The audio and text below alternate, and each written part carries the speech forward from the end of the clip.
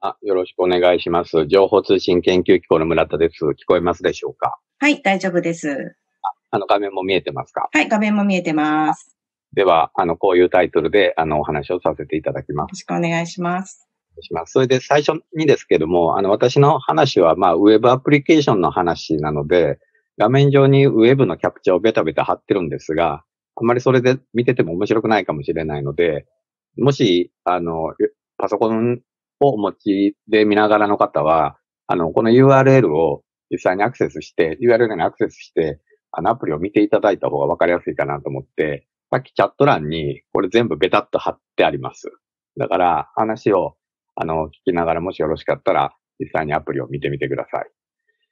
では早速ですが、あの、まず背景なんですが、えっ、と、この、ああの、プロジェクトは、えっ、と、2018年度から3年間、えっ、と、要するにこの許容されてる、あの、フルの期間を使わせていただいて、まあ、主に私と NII の北本さんでやってきたものです。で、その背景なんですが、その災害教育ということを考えたときに、我々はその過去の災害からいろいろ学ぶことが多いと。で、あの、特に地名と災害が連動しているケースっていうのもあって、右側にあるのは、これは長野県が出しているウェブサイトから取ってきたんですが、えー、こういう漢字が使われている場所にはこういう災害が過去に起こったと。場合によったらこの地名によって土地の価格が変わることもあるそうで、そのぐらい、まあ、連動していることもあると。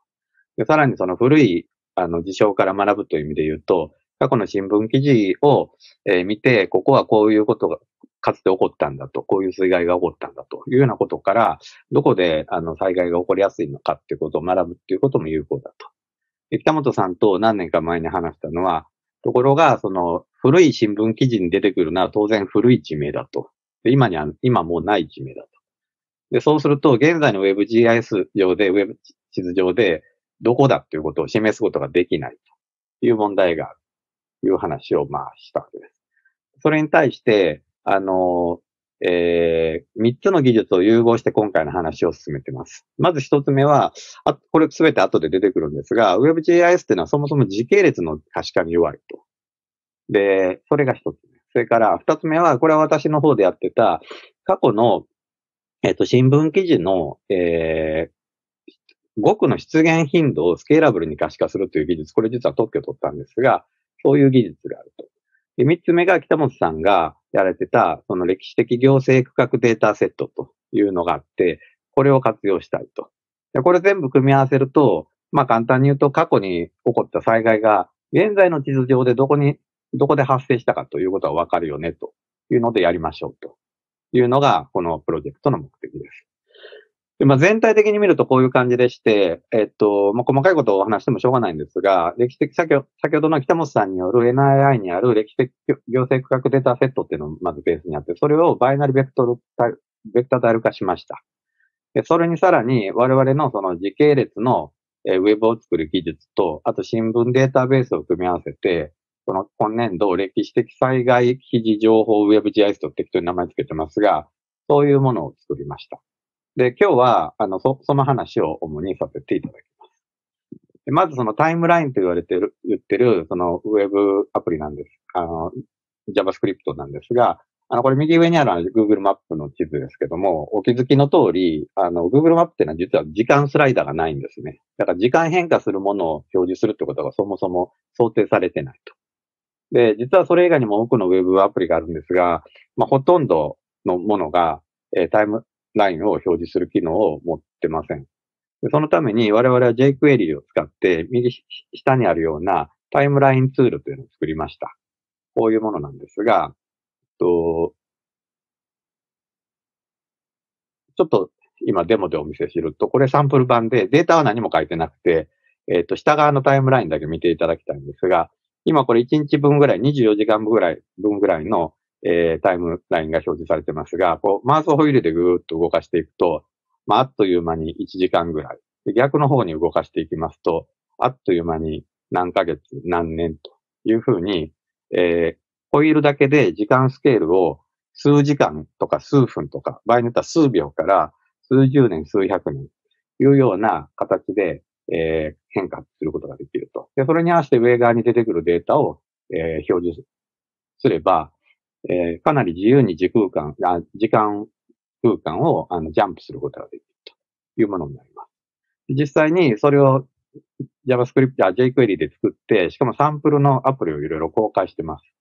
例えば、普通のタイムスライダー、先ほどお見せしたものや、これは日本のあの言語ですね。で、色分けしたタイムスライダーとか、あと月曜日から日曜日までの、えー曜日で分けたタイムスライダーとか、そういうふうにいろんなものがあって、今回用意しているのはこの、えっ、と、新聞記事、あ、ごめんなさい、間違えた。えっ、と、北本さんが作られた歴史的協会の、データをベースに色分けしたタイムスライダーです。で、私はこのタイムラインを使って、まあ、いろんなことをやってきたんですが、もうこの辺ちょっと時間かかるので飛ばしますが、まあ、これちょっと面白いのは、えっと、実際にウェブアプリをお見せしますが、これは、えっと、タイムラプス画像の動画像の、えっと、アプリケーションです。で、これ動画像をこうタイムスライダーであの動かすというのは全然珍しくなくて、まあ、YouTube に代表されるようにいくらでもあるわけです。でもそれは、横軸の時間方向は動画像の、えー時間でしかなくて、このタイムラインの、ああの、このタイムラプス用のウェブサイトの面白いのは、横軸がが動画像の時間じゃなくて観測した時間ってことですね。これこれちょうど富士山に笠雲がかかかってる時の事例なんですが、まあ、例えば11時ちょうどっていうのはこの辺だとかですね、12時になったらこうだと。動画像の何分目ではなくて、データの何分目ということができて、さらに、まあこれを、あの、時間を好きなところに動かしたり、スピードを速くしたりとか、逆回しにしたりとか、コマ送りにしたりっていうことができるというようなことです。まあこれ事例なんですが、こういうふうに、えっ、と、これはまあ、あの動画像の場合で、あの GIS ではないですが、こういう方法を使うことで時間を管理できるということになります。で、えっと、今回使う読売新聞のデータベースなんですが、こういうふうに、あの、それぞれの記事がカテゴリーに分けられてます。で、さらに、そのカテゴリーに分けてると同時に、これがこの記事の面白いところなんですが、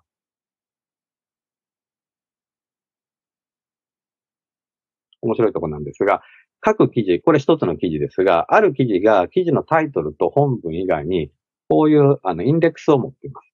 このインデックスは AI 的に作ったものではなくて、すべての記事を、あの、記者さんが、まあ、記者の OB の方が、えーワードを抽出したそうです。だから、精度が非常に高いと。でその中には、例えば、中野市とか信濃町とかっていうような、あの、えっ、と、地名、市区町村名であるとか、河川とか駅の名前っていう地理情報であるとか、集中豪雨とか土砂崩れとかっていう現象であるとかっていうものが入っています。これは記事の本文中に仮に出てこなくても、えー記者さんが、えー関連すると思ったら、えーこういうワードをつけてますので、非常に精度の高いものになります。で、これを使って我々は、えっと、まず、これは私の古いあの仕事なんですが、走馬灯というアプリを作りました。これは、その、それぞれのカテゴリーごとに、それぞれの時代でどのぐらいの記事があったかということを表しているアプリです。これが特許を取ったものなんですが、例えば1995年に事件事故っていうところに非常に記事がたくさん出てると。で、その事件事故もカテゴリーに分かれてまして、この、災害のところで非常に、えーたくさんの記事が出てると。で、これを先ほどのようにズームインしていくと、えー1995年の1月1日から2月1日まで、つまり1日ごとのになって、1月16日あたり、17日あたりから記事が突然増えてるということで、これは、えーっと、阪神大震災であるということが分かって、最後にこの記事のタイトルや本文も見れるというようなアプリケーションです。でこういうふうに、あの、事象を時間スケ方向に、えーカウントしてスケーラブルにすると、長いスパンで起こった事象、短いスパンで起こった事象、いろんなものが見えてきます。例えばこれは、えっ、と、2001年の9月11日の南北アメリカのところの、事象ですから、もちろん911です。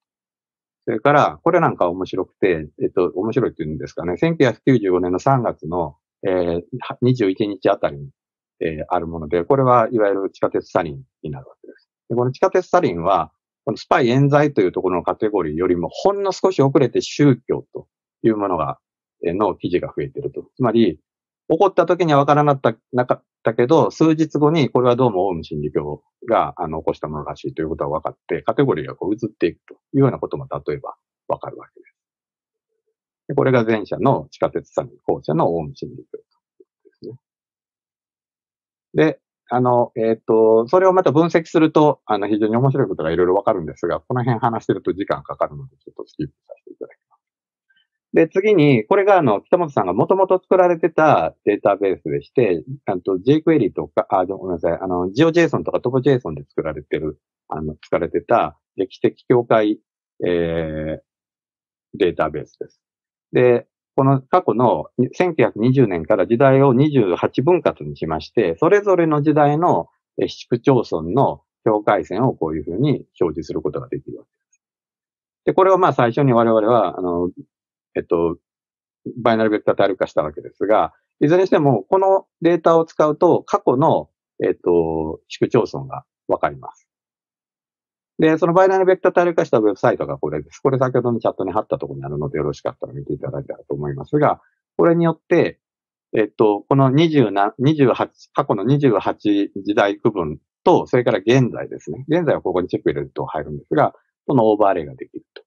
で、この場合で言うと、一番これ古い時の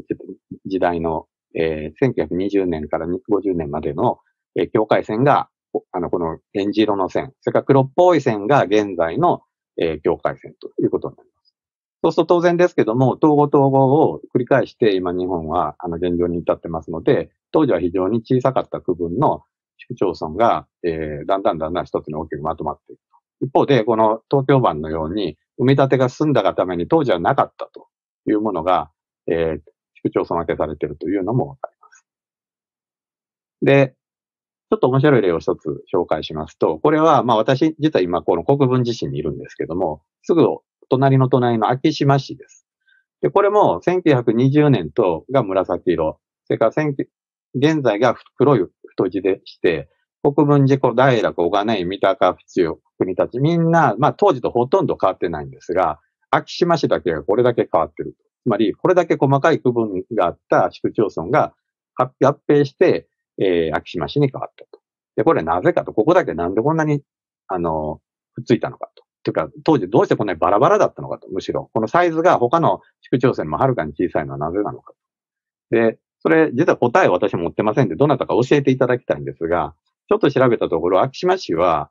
実は、ここに、これはあの、背景を地図にせずに地形にしたものなんですが、こうするとわかるんですが、ここに、あの、河岸段丘の波形ですね。つまり、あの、段差ができてます。で、この段差によって、この昭島市は非常に美味しい水が取れるということで、非常に豊かな、えー、地域だったそうです。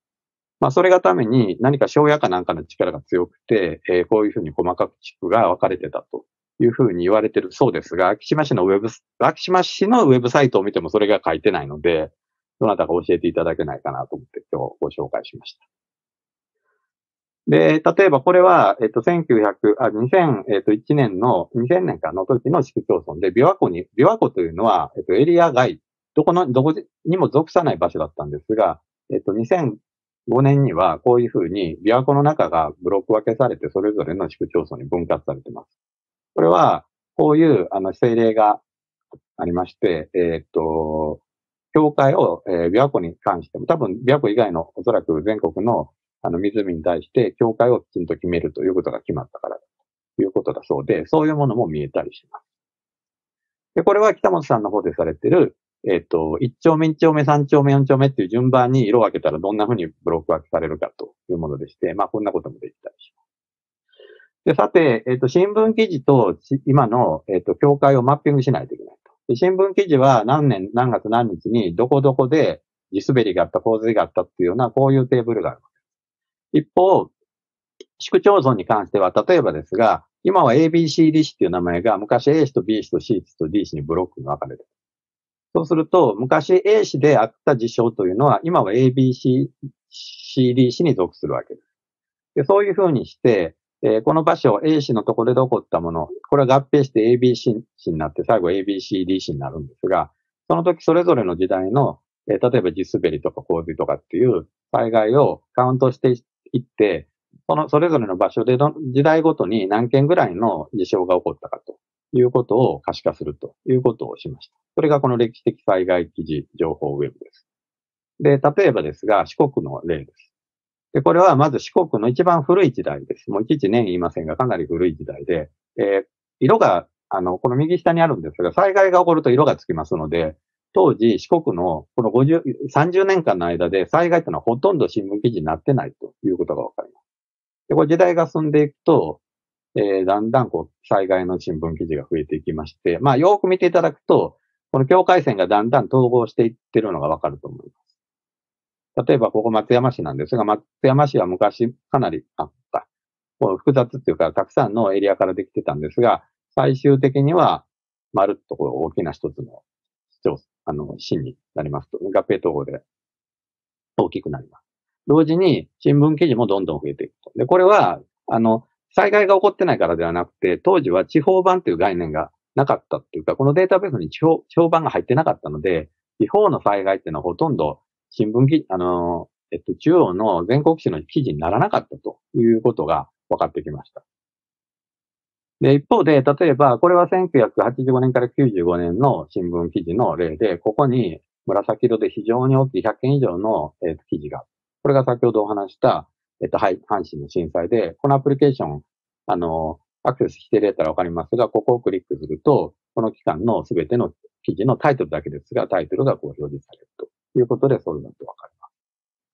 で、一方で、例えば、2014年の記事数で、ここに、えっ、と、岐阜と長野の境目に、えっ、と、非常に件数の多い事象が起こっています。これ、ご存知の方おられたら、あの、よく知ってられる方で、実は御嶽山の噴火によって、人が、ここにもありますが、58名も亡くなったということで、ここにあるように、日本における戦後最悪の火山災害だったということで、この年、この年の間で一番このエリアでは多かった、あの、場所ということがわかります。そうすると、えっ、ー、と、他に火山災害っていうのはどんなのがあったのかって知りたくなるので、ちょっと調べてみたところ、こんな感じで、これ、あの、気象庁のサイトですけども、いろいろあると。で、特に、その144名もの人が亡くなった、え大正15年、1926年の十勝岳の、えー、火山っていうのがあります。それ調べてみました。で、そうすると、あ、ちなみにそれは大正泥流って呼ばれてるそうですが、調べてみたら実はやはり当時、これだけ大きなあの災害だったにもかかわらず、災害記事は2件しか出てないということが分かりました。一応2件あって、十勝岳のこのエリアになってますが、そういうふうに、えっと、やはり地方の記事というのはなかなか中央の、えー、新聞には載らないということが分かりました。ということで、これ長野県の千曲市の例なんですが、えっと、実は長野県千曲市に関わらず多くの自治体では、その自治体における過去のあの災害というもののデータベースを作ってウェブで公開するケースが多いです。例えばこれは千曲市の例で、こういうふうに1928年何年何年にどこどこでどんなことが起こったかというデータが作られてまして、えー、そこには例えば食いせげ町とか、戸倉町とか、八幡村とかですね、こういうふうに地名があります。で、それはここにマッピングしていくことができるわけです。で実際これは読売新聞のデータで見たらですね、この期間中、この、えっ、と、何十年の間の期間中、えー、記事は一つも出てきませんでした。ということは、えっ、と、やはり先ほどお話しているように、えー、大手の新聞では、え地域の過去の災害っていうのはなかなか見れないということがわかります。で、一方で、えっと、これはもう少し後ですが、えっと、1962年から75年までの間ですが、やはり全然、えっと、実、これ色はついてるんですが、見てみたら、これらの災害ではない、関係ない話の記事ばっかりで、やはり一つも出てこないということが分かりました。一方で、こういう地域の災害情報のデータベースっていうのは、あの、えっと、公職市であるとか、えっと、戸倉町であるとかっていうふうに、きちんと地名を入れてくれてるものがたくさんありますので、むしろこれを可視化するべきだということが分かってきました。でさらには、えっ、と、同時にこの中川とか、中沢川とか、千曲川とか、橋の名前とかですね。そういうふうに、えっ、と、えー、行政協会、行政名ではなくて、行政地域名ではなくて、その、地理情報をあの、使ってこう表記しているものもあるということが分かりました。でこのあたりはまだこれからやるところなんですが、そうすると、今、先ほどお見せしたように、このマップのいいところの一つは、えっ、ー、と、こういう地形図をあの背景にすることになります。これもぜひウェブサイトをご覧になっていただくとわかるでその中に、川と流域マップというのがありまして、こういうふうに、それぞれの川のエリアが、こう、あの、えブロック、いわゆるポリゴンで表示されています。従いまして、例えば先ほどの宮川っていうのがどっかにありましたが、その宮川であれば、このエリアで起こったんだということがわかりますので、これを、えっと、やはりバイナルタイル化することができれば、今度新聞記事や、えっと、地域の災害データベースと、こういう、えー、河川エリアをマッピングするということができたり、あと、ま、橋の名前であるとか、駅の名前であるとかっていう地理情報と紐付けていくことで、その地域地域の過去に起こった、えー、っと、災害というものを時代ごとに再現するということができるだろうということが分かってきました。ということで、時間になりましたのでまとめますが、えっ、と、北本さんが作った歴史的行政区画データセットというのをベースに、えー、それと新聞記事を連動させることで、えー、時代ごとにその場所で起こった、えー、災害というのを可視化するということに成功しました。ただ、残念ながら、えっと、大手の新聞では地方の情報っていうのはほとんど載ってこないということが分かってきました。ただ、それと同時に、その地理情報、地形であるとか、その他の地理情報と紐づけるということを、これからまあ、これは今後の課題なんですが、えー、することで、さらに、えー、単なる、えーと、行政区画以外の情報としても可視化するという可能性があるということも分かってきました。で、あと、まあ、それを、こういうアプリケーションをどう使うかということに関しては、えっ、ー、と、地域災害情報教育というものをぜひやりたいなということで、私実はこの長野県千曲市ランズプロジェクトというプロジェクトを、あの、市と一緒にやってるので、え、その中で学校でこういうものを使って授業をしているというようなこともできるのかなと思いました。あと、技術発展はいろんな可能性があるんですが、例えば、こういう地域の防災マップと今のえ、新聞記事を連動させることで、例えばこれ水色になっているところは浸水が非常に、え、深いと。あの、浸水した時に深深いところだと。これ真ん中走ってるの実は千曲川でして、そもそも、あの、一昨年の台風19号でひどい目になってますので、かなりリアリティのある話なんですが、こういうものと過去どこで災害が起こったかというものをマッピングするというのも災害教育に役に立つだろうと。それから、あと今実はそのプロジェクトで、ここの、あの、おば捨てというところにカメラをつけて、こう、あちらこちらをこう見るということをしています。で例えば、これ今日の朝撮って作ったんですが、こんな感じで、ちくま川、これ真ん中ちくま川が流れてるんですが、こういうふうに。で、このカメラを右に振るとですね、そして右に振るとこんな感じ。で、橋が見えますと。で、さらに右に振ると、こんな感じで、えー、街の様子が見えます。で、さらに振ると、こんな感じでここに次の橋がありますが、この橋がここに見えますと。で、この橋が何か、ここの千曲川が増水したわけですが、増水した時にこの橋の様子を見たかったらズームインすればいいわけで、ズームインするとこんな感じで。いうような、これは映像 IoT っていう技術を使った、えっと、街の見守り技術なんですが、こういうリアルタイムの現在の状況っていうものと過去と付き合わせていくというようなこともできると思ってます。あと、あの、超聴目データベースをせっかく作ったのに、そんな話がほとんどできなかったんですが、これちょっと長くなるので、今日はもう、あの、割愛させていただきますが、興味がある方がおられれば、コンタクトしていただければ、いろいろお見せできると思います。以上です。ありがとうございました。